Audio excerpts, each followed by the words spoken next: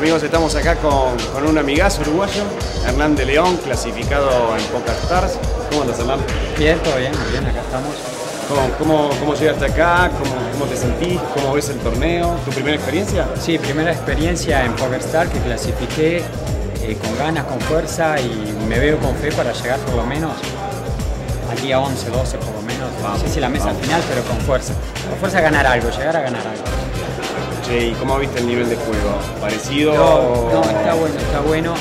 Inclusive me, gustó porque primera vez que estoy acá en la serie mundial y que venga gente que vos ves que juega bien y me diga, "Ah, muy bueno tu juego, muy bueno tu juego. Y, y que te observen y cuando jugás fuerte que no te pagan, está bueno.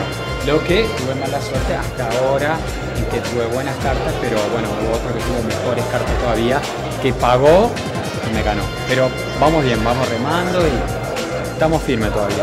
¿Llegaste planteando una estrategia o llegaste a ver cómo se iba dando la situación y estás planteando una estrategia para lo que se viene ahora o vas a ver cómo, cómo, cómo pasa el tiempo? Estoy planteando una estrategia de jugar conservador, en principio, sobre todo con las luces chicas. Eh, pienso ir siendo más agresivo a medida que van aumentando las luces, pero por ahora estoy conservador, estoy jugando con juego. Cuando tengo o cuando pienso que estoy con cartas fuertes, apuesto. Por ahora. A medida que aumenten las luces, voy a seguir siendo más agresivo. Y algo que me pregunta todo el mundo, cuando te sentaste en la primer mano, ¿te temblaban las manos, te sentías incómodo, te sentías... ¿qué, qué- qué- cuál fue la sensación que tuviste? La verdad, Sí. Hoy me sentí cómodo. Por dos cosas. Una, porque me tomé tres whisky sin hielo. Porque cuando juego en el Conrad con amigos hasta te tiembla un poquito la primera mano. Sí. Y hoy quería sentirme cómodo desde la primera mano, no quería estar nervioso. Entonces me tomé tres whisky sin hielo. O sea, uno en el Palms, donde estoy, y dos acá, uno doble.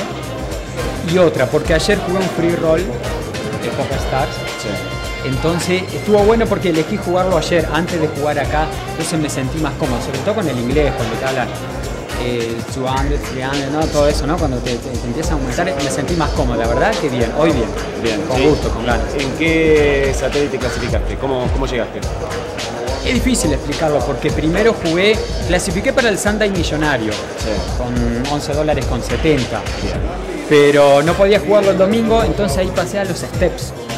Entonces, el de- jugué por ejemplo el de cuatro jugadores, el Hyper Turbo de 83 dólares, creo que era 83 dólares con 70. De 4 a 1 clasifiqué y pasé a 320, 320 a 700, 700 2100, o sea, de una pasaba, pasaba. El de 2100 jugué como los tres días porque yo termino de trabajar a las 5 de la mañana y no había nadie, o sea, no había 12 jugadores de 2.100 dólares. Entonces, como los tres días, a las 7 de la tarde había y ahí clasifiqué, o sea, de 12 pasaban dos. Y ahí clasifiqué, pero de 5 era el que menos tenía. De repente empecé a recuperar, recuperar. No tuve buenas cartas, pero sí tuve cartas finas. Por ejemplo, par de 6 jugaba contra As-Rey. Y no le salía Rey, entonces ganaba yo y que quedábamos tres y pasaban dos. Y yo era el que más tenía, tenía 18.000, el otro tenía 12.000 y el que perdió, perdió tenía 6.000. Bueno, O sea, bien, firme. Esperemos que las moneditas ahí te sigan favoreciendo. Y para todos los amigos uruguayos, que tenemos un montón, te queremos ver pasar todos los días posibles. Y vamos a estar junto a vos, al lado de la mesa, para, para darte fuerza. Dale, en la tabla final nos vemos. Gracias, Hernán. Nos vemos en noviembre.